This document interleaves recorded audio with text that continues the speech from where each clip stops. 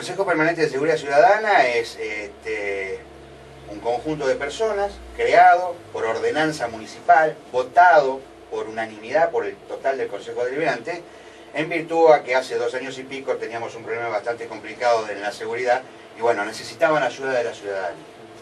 Eh, miembros del Consejo Permanente de Seguridad que no cobramos sueldo, no somos empleados municipales, no manejamos dinero, no firmamos cheques, ni siquiera disponemos de lo que se compra.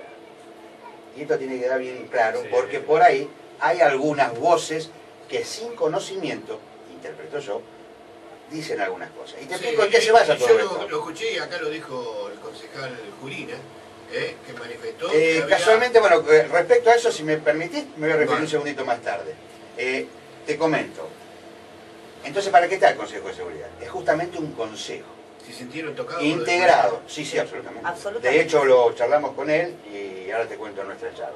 Bueno, De hecho, eh, el Consejo Permanente de Seguridad Ciudadana está integrado por ciudadanos comunes, en algunos casos, como el mío en particular, con conocimiento sobre seguridad. Eh, Este, soy este, egresado de la Universidad Católica Argentina en Seguridad Ciudadana. Eh, que tratamos de hacer algo para ayudar a las autoridades, tanto este, Municipales. municipales como a la fuerza de seguridad. Entonces aportamos nuestros pequeños conocimientos para que esto se lleve, se lleve adelante. Por lo cual, aconsejamos, no administramos, sino que inspeccionamos los gastos que se hacen sobre lo que nosotros sugerimos que se compre y las acciones que se lleven adelante.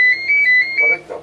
O sea que, en alguna medida, nosotros eh, no tenemos injerencia directa en los gastos que hace el Consejo de Seguridad.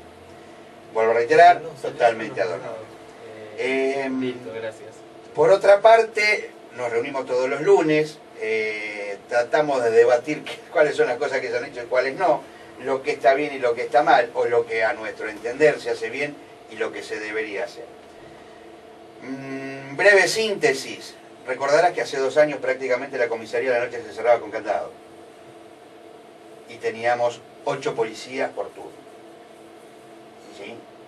Hoy en Luján, más allá de como las palabras del señor secretario de Seguridad se dicen, más allá de la mal utilizada policía local, hoy por hoy tenemos casi 300 policías en Luján, de los cuales 150 están andando constantemente en la calle. De tener dos patrulleros y uno roto, hoy tenemos 43 móviles andando en la calle. ¿Sí? Eh, ¿Por qué se dice que no, no hay nafta para los patrulleros? no, eso es una equivocación. Y te voy a explicar de dónde, de dónde surge.